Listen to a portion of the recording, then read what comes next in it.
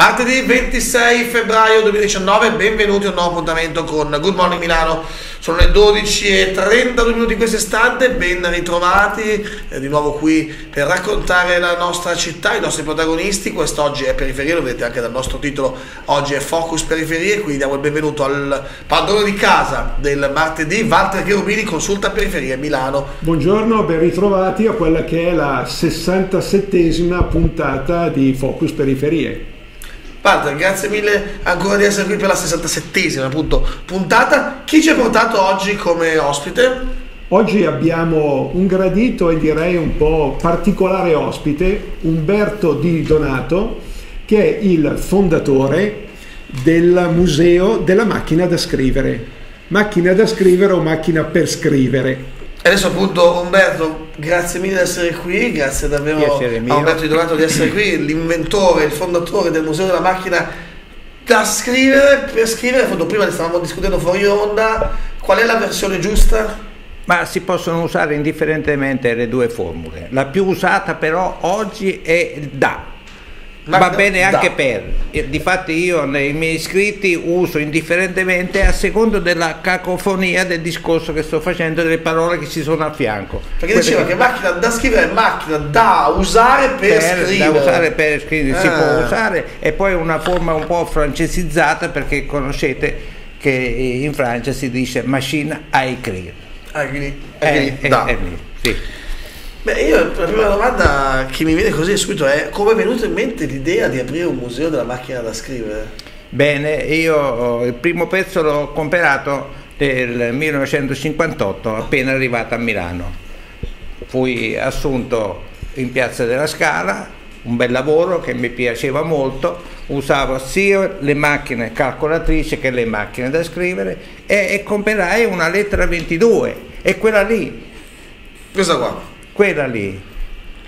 Ma ha avuto una fortuna questa macchina. Questa qua per- verde che c'è qui davanti questa a noi, qui verdina perché è andata a finire destra, questa. cinque anni fa tra le braccia di Luca Zingaretti Perché ha fatto? perché io ho prestato 70 macchine alla RAI per realizzare il film.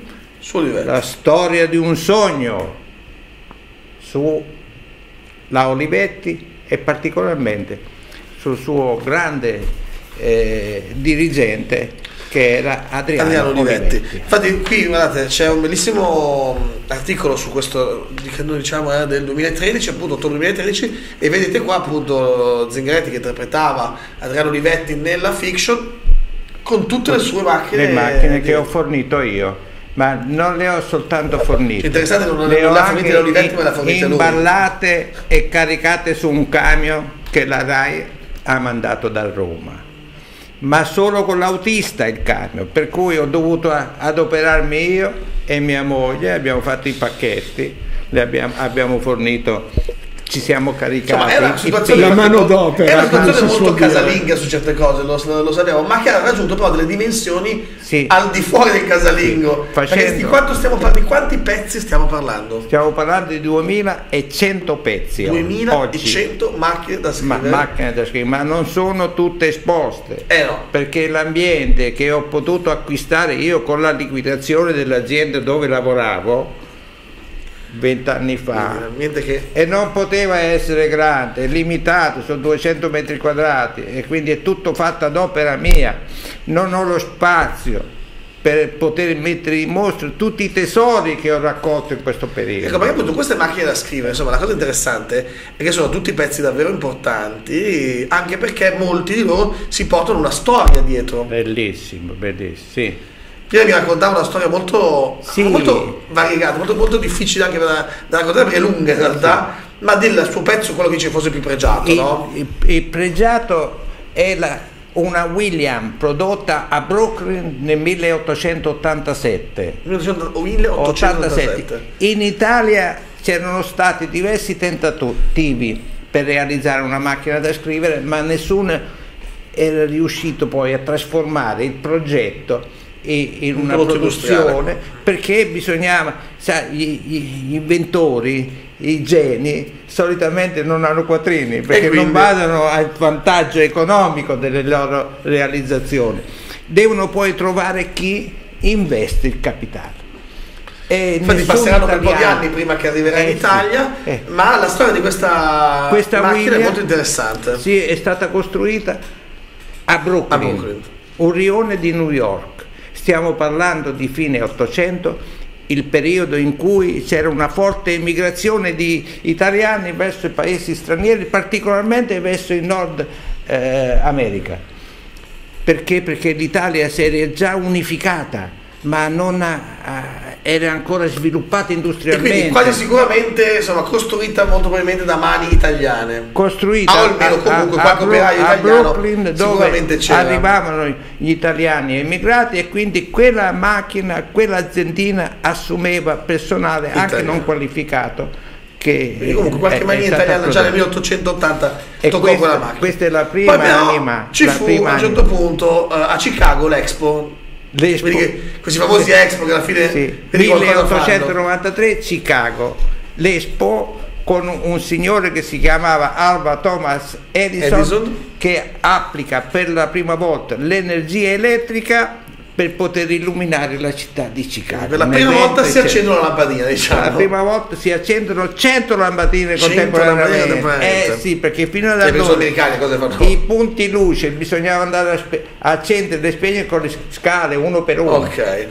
Ma voleva che andasse a tenere una serie di conferenze un emerito professore de- di una scuola regia che si trovava a Torino. Okay. Questo professore era Galileo Ferraris. Ok e l'avevano invitato ad andare a, a, Chicago, ma lui non voleva andare perché non conosceva l'inglese. Inglese, Vado lì, parlo e non mi si capisco. Cioè, eh, Però all'ultimo momento quest'uomo geniale gli, capita sotto mano. gli viene l'idea di passare i curricula dei suoi allievi e ne trova uno che era stato a Londra e allora si mette d'accordo con questo allievo e vanno nella sala delle conferenze di Chicago e tengono un, un, un, incontro perfetto perché la popolazione voleva sentir parlare, gli americani volevano sentir parlare questi italiani.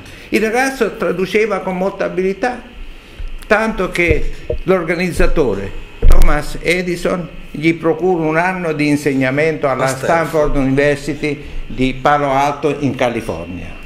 Chi era questo ragazzo giovane? Chi era questo? Chi era? L'ho chiamato sempre ragazzo ma era un genio, Camillo Olivetti.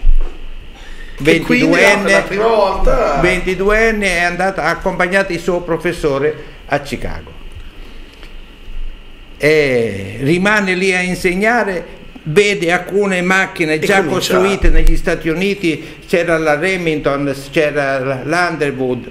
Eh, Cosa interessante di... mi diceva voleva andare a parlare con la Remington che era insomma la Apple dell'epoca ma Remington, ma Remington disse ma io questo sporco italiano non lo voglio neanche vedere. venivano chiamati così sporchi perché facevano il raccoglitore di immondizia eh, si ricorda però appunto che da sporco italiano aveva degli amici a Brooklyn e quindi riesce ad arrivare in contatto con la famosa macchina da scrivere di cui quindi, sopra, quindi no? con la Williams. Camillo va a Brooklyn, si fa presentare il capo, il proprietario della William, che si chiamava Mr. William, eh beh, il quale si innamora di questo ragazzo, capisce che è un ragazzo che ha i numeri e gli dà l'incarico di venditore per l'Italia della sua macchina da scrivere. Quindi quasi sicuramente la macchina Silver che eh, Umberto ha nel suo museo è una di quelle lì, delle prime macchine che arrivavano, tornavano indietro in Italia insieme a eh, Camillo Olivetti. Il quale... La cosa interessante è poi che dopo nel 1911 esatto. riuscì poi a commercializzare le prime vere macchine da scrivere eh, Olivetti. Poi. Prima nel 1908 ritorna negli Stati Uniti va a visitare la Underwood che era diventata leader ai danni della Remington prende nota probabilmente, come ritorna in Italia il 29 di ottobre del 1908, va a Ivrea, compra i primi 500 metri di un capannoncino e, e si mette a costruire la macchina da scrivere.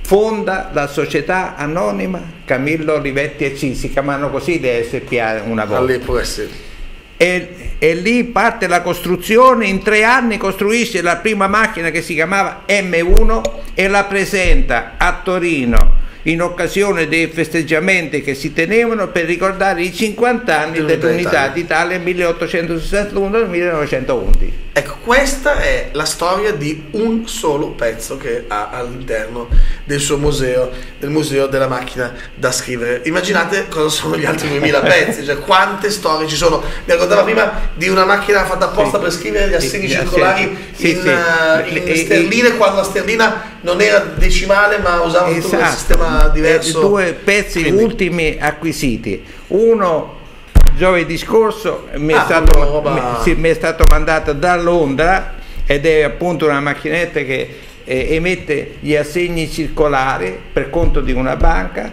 ma li emetteva in un periodo in cui la sterlina non era ancora nel sistema metrico decimale, per cui ogni sterlina era composta da 20 sterlini e 12 pence. E quindi, e quindi La macchina bisogna- particolare. macchina un po' particolare. Un'altra invece, signori, mi è arrivata venerdì.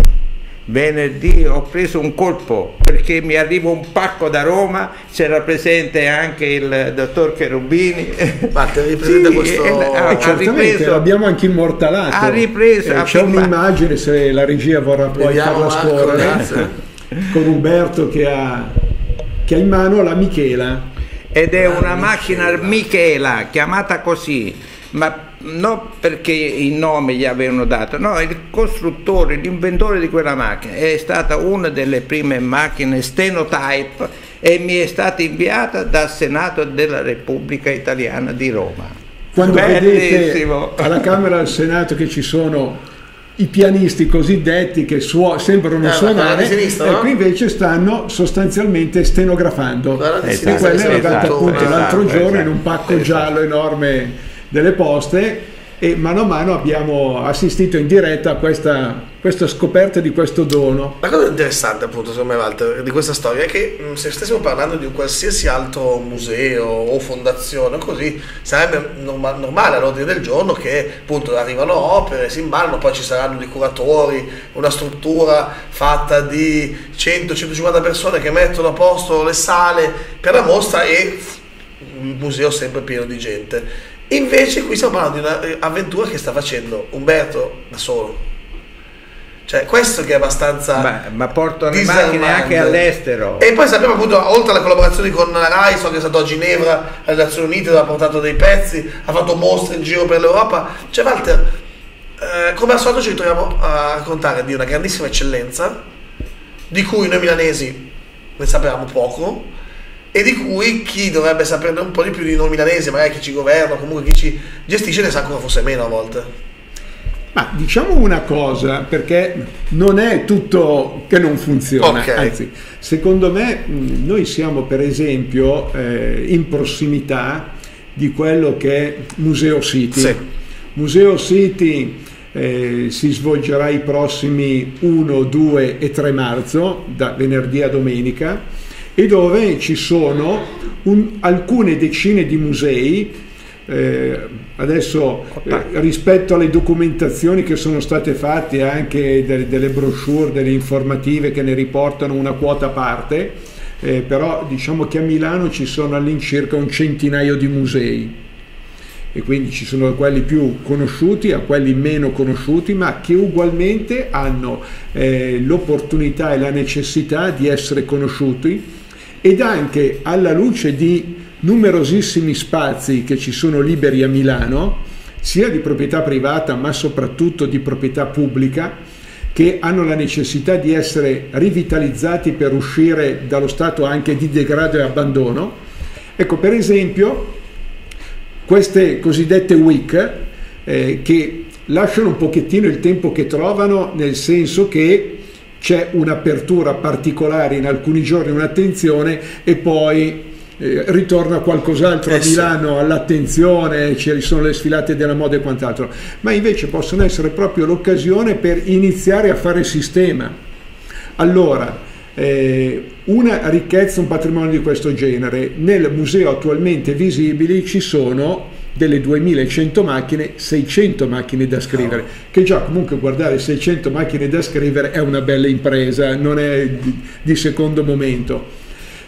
Ecco, può essere l'occasione per fare anche una riflessione strutturale sulla situazione dei musei e alcune volte con dei piccoli interventi, proprio perché spazi ce ne sono liberi, si possono coniugare la necessità di utilizzare e far fruire questi spazi con anche delle necessità come quella che poneva Umberto Di Donato di avere uno spazio maggiormente ampio. Dopodiché all'interno di, di una struttura ci, ci, sono, ci sono, tante cose, cioè, ci può essere il servizio civile, eh, c'è eh, la, la, scuola lavoro. Io so che lavoro tantissimo con le scuole, fa tantissimi eventi Vengono con le scuole. Scuole sì. Prima per la fuori noi pensavo perché no l'alternata scuola lavoro ad esempio, cioè, anche allora, noi di Milano News siamo allora ci sono tante diciamo, possibilità dove rispetto anche alla necessità di tradurre questi concetti di servizio civile, di, di scuola lavoro, poi molto spesso non, chi ha la necessità di far fruire, anzi di far esercitare in queste cose eh, gli studenti, eh, non sa bene da che parte andare. Ecco, allora ampliamo il campo e coniughiamo, e per cui le istituzioni, il comune in particolare, avrebbe questa, questo ruolo anche di conoscere il quadro della situazione generale e non solamente alcune cose, ma avere il quadro della situazione generale e quindi proprio istituzionalmente, al di là poi di quello che possono essere sicuramente delle iniziative significative ed organizzate bene eh, del cosiddetto volontariato, però chi amministra la città dovrebbe avere un quadro d'assieme in maniera tale da favorire questo tipo di contatti che non possono nascere per caso, ma ci devono essere anche alcuni canali informativi molto semplici per cui cerco offro, tra virgolette, che non può essere però eh, lasciato al fai da te, perché se lo lasciamo eh, al fai da te, diciamo pure così, in un piccolo comune tipo Baranzate, che una volta era parte di Bollate, è un sistema che magari funziona. Amministrazione lì, un'associazione piuttosto importante, magari anche un benefattore eh, importante, il cerchio si chiude facilmente. Sì. Se siamo a Milano il cerchio non si chiude assolutamente, ha una difficoltà, invece ha la necessità proprio di di chiudersi questo cerchio e così di far emergere le varie potenzi- non potenzialità, ciò che esiste e che può essere messo a beneficio di tutti, ma invece in una città come Milano, eh, che ha una grossa frammentazione, ha molta difficoltà. Uh, io sto pensando che questo, Umberto, è interessante che queste collaborazioni che fai con le scuole, anche perché ti sei inventato dei concorsi, ad esempio. Raccontaci qual è il concorso di dattilografia che ti sei inventato, che è molto interessante, anche perché mi dici poi ogni anno i ragazzi sono sempre più accaniti nel voler vincere a un certo punto sì, la macchina sì, da scrivere. Sì, sì, questa macchina sta eh, incuriosendo i giovani che non l'hanno usata, di più che non quelli che eh, ci hanno lavorato su per anni e mi sono inventato una formula di concorso particolare, adatta alla situazione. Non è un, una gara di velocità, è una gara di precisione.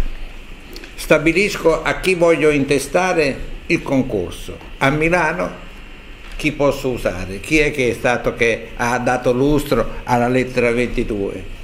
Montanelli. Il grande Montanelli e quindi tutti i concorsi che faccio a Milano li dedico a lui sono al ventunesimo concorso Indro Montanelli. Quando vado all'estero, per eh, le nazioni di lingua francese, uso Georges Simenon. Prendo una frase o due o tre, quattro frasi di Indro Montanelli o di Georges Simenon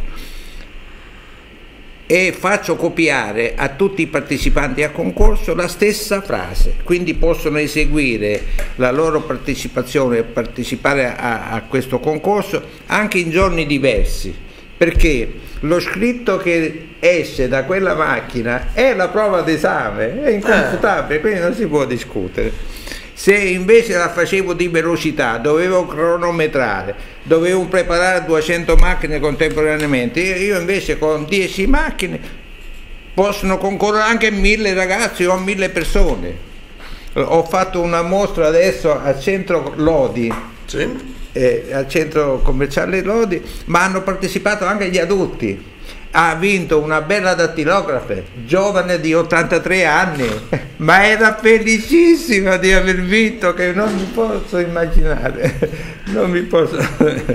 Quindi è una cosa che mi mette gioia e entusiasmo, però devo riconoscere che il tempo vola, ormai sono 15 anni e faccio fatica a trovare qualche volontario che mi aiuta perché io scrivo anche libri e ho bisogno del tempo, dello spazio. C'è, il, un libro che mi fa impazzire il titolo che ha fatto qua, questo qui, che è, che è anche da capire bene, dice la penna, il tasto e il, e il mouse. mouse. Ma la penna è la penna d'oca eh. eh. perché prima del, del, di, che Gutenberg inventassi i caratteri di stampa si usava la penna d'oca per scrivere poi il tasto, vabbè, eh, con la macchina e adesso l'evoluzione appunto il mouse, infatti qui e altri, altri, altri libri, poi scritto appunto vediamo la scrittura degli dei eh, di Braille, eh, tasto magico, insomma, sono tanti libri che stiamo vedendo adesso sono in, in onda in questo momento sì, in sì, grafica, sì. insomma tanti tanti libri che ha scritto.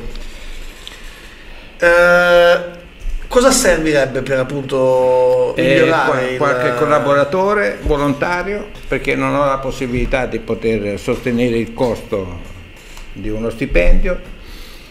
E poi un'istituzione qualche stabilimentino dismesso perché poi provvedo io a, a ristrutturare a sistemare a fare ma, ma, mi occorrono minimo 300-350 metri quadrati per fare una cosa. Da dove arrivano decente. appunto questi pezzi che ha? I pezzi arrivano come tutte le cose a volte che sono più valide di quelle programmate.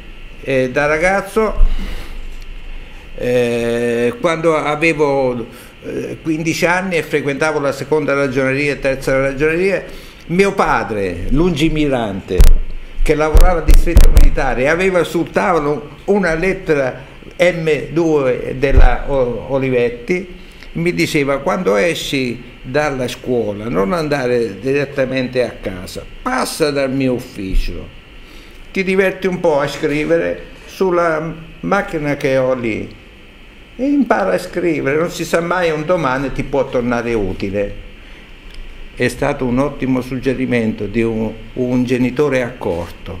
Io ho incominciato, a, ho cominciato a scrivere a macchina e da solo ho capito poi tutti i funzionamenti, perché il papà non aveva tempo, lui era pagato per, per stare lì a fare altre cose.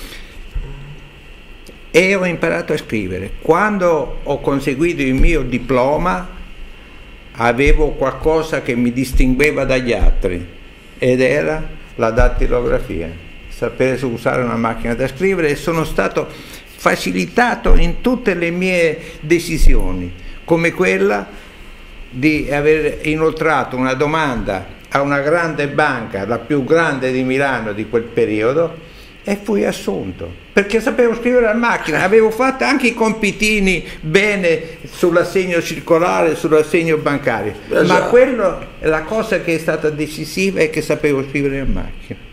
Insomma, insomma no, davvero una storia del museo da... ricordiamo bene dov'è anche il museo appunto il museo Berto. si trova in via Menabrea numero 10 eccolo qua. Eh, zona Farini tra, tanto per intenderci. tra le, tra le due stazioni metropolitane della linea gialla Farini e Macciacchini. Tita Zara e Macciacchini, sì, trovi in mezzo. Via Zara, sì, Zara sì, sì, Farini e Macciacchini. Quindi comodo anche da arrivare, appunto, sì. una zona molto uh, molto... Tre fermate dalla stazione Ma io ti chiederei questa volta proprio davvero una... Cioè, la morale, la morale di questa storia qual è? Ti chiederei questo. No, ma io direi più che morali, sono delle evidenze. Ecco. Allora, ci sono delle cose, ci sono delle iniziative, ci sono delle persone e da qui il lavoro che fa Consulta Periferie Milano di mappatura anche, eh, perché così, il, per quello abbiamo anche costituito ormai da un po' di tempo il Centro Studi Periferie, proprio per dare una sistematica informazione eh, su quello che evidenziano le nostre periferie e allora eh, le mappature servono affinché chi deve assumere delle decisioni possa farlo, diciamo pure, a ragion veduta. Questo è il tema, quindi ci sono le evidenze. Adesso noi, eh, come facciamo in, normalmente in Focus Periferie, portiamo alla ribalta, eh, grazie alla, alla, disponibilità di Milano All News, portiamo alla ribalta tutta una serie di realtà che magari sono poco conosciute. Eh, ecco, eh, se uno va a vedere i video, avesse, facciamo queste mezz'ore, ma se uno avesse la pazienza ogni tanto di andare su YouTube, eh, sul sito eh, di Milano News, a rivedersi questi spezzi di Focus Periferie, rivedrebbe proprio delle realtà e capirebbe quello molto semplicemente, proprio online, molto semplicemente quella realtà molto articolata delle periferie, delle quali si parla tutti i giorni ormai, però se ne parla ma poco si conosce. Perché questo qui è il museo è un esempio palese. Delle, ci sono delle cose, sì, in periferia c'è, c'è ricchezza, c'è, c'è, vitalità e quello che si vuole, va bene, ma allora andiamo a vedere cosa sono queste cose che sono così vitali. Ecco, eh, è importante conoscere direttamente, ved- mettersi dalla parte di, di, chi opera per poter anche strutturare l'iniziativa, io dico, eh, pubblico-privato, come si suol dire, ma direi che quando un privato fa un'iniziativa pubblica è pubblico quando invece un pubblico non, proprio, non, svolge il proprio ruolo, diciamo che è privato, cioè priva la città no, di quella aggiunta che dovrebbe dare, per cui proprio la, la funzione pubblica dovrebbe avere. Ecco, per cui eh, più che morali sono da una parte ricchezze e dall'altra parte utilizziamo queste ricchezze che ci sono. Oggi da qui viene eh, una possibilità di ci sono degli spazi che, e ce ne sono tanti, io ho in mente il rilevato ferroviario perché ne abbiamo parlato, lì c'erano qualcosa come 400 esercizi commerciali dove adesso si comincia a utilizzare per esempio per le sfilate Questa di moda. settimana ha vissuto no? grazie a Moncler, eh, stato... Moncler eh, oppure c'è anche il, il fuorisalone del mobile, cominciano a esserci delle utilizzazioni. Ecco, ma allora Proviamo a guardare dal punto di vista non tanto di quello che farà Ferrovie dello Stato, chi per lei, reti ferroviarie o come si chiama, e che dice va bene io comincio a utilizzarne un pezzo. No, cominciamo a dire noi abbiamo un grandissimo spazio, chi è che ha la possibilità di vitalizzarlo? Chi ne ha bisogno? Ecco, questo è il tema, altrimenti noi rimarremo lì ancora per lustri e forse anche per decenni ad avere degli spazi che rimangono degradati, inutilizzati e quindi anche con un ribaltamento su eh, l'abitato circostante. Nello stesso tempo abbiamo delle realtà importanti che avrebbero bisogno di spazio, potrebbero rivitalizzarli, che però devono rimanere nel loro angolino. No, ecco, questo qui è proprio il tema. Allora, Museo City sicuramente può porre a tema questo, cioè gli spazi, tra virgolette, museali, ma proprio fare incontrare questi spazi vuoti con questa necessità di avere spazio. Insomma, questa è la solita storia che cerchiamo di raccontare da tanto tempo, ma che ci piace raccontare, cioè esistono delle realtà che, non, che sono delle eccellenze quasi sempre e che diventano insegnamento appunto per poi riuscire a eh, fare queste realtà su tutto il territorio, cioè trovare ad esempio delle soluzioni, gli spazi, spazi ce ne sono a Milano noi abbiamo, appunto, abbiamo parlato adesso del rematto ferroviario, ma era un esempio, ce ne sono veramente. Non mancano sicuramente. Non mancano sicuramente e lo si vede durante il Salone del Mobile, dove nascono situazioni eh, in qualsiasi luogo di tutto, più o meno, infatti, quindi insomma, quindi lo spazio esiste e c'è.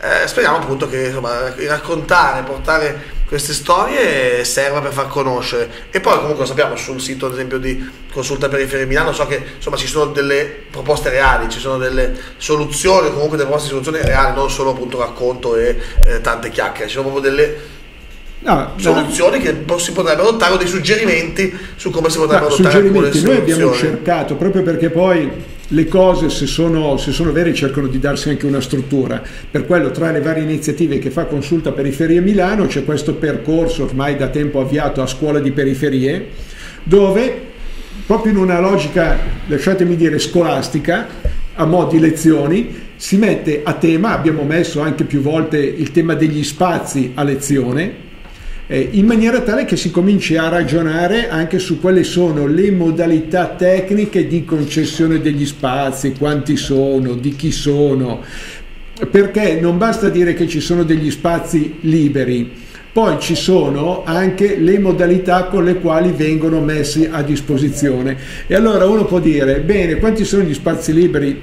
Eh, noi per esempio prendiamo gli spazi eh, commerciali artigianali in capo Aler e Sì. Metropolitana Milanese, eh, dove ce n'ha quasi 3.000. eh, nove- eh, quasi 900 sono liberi.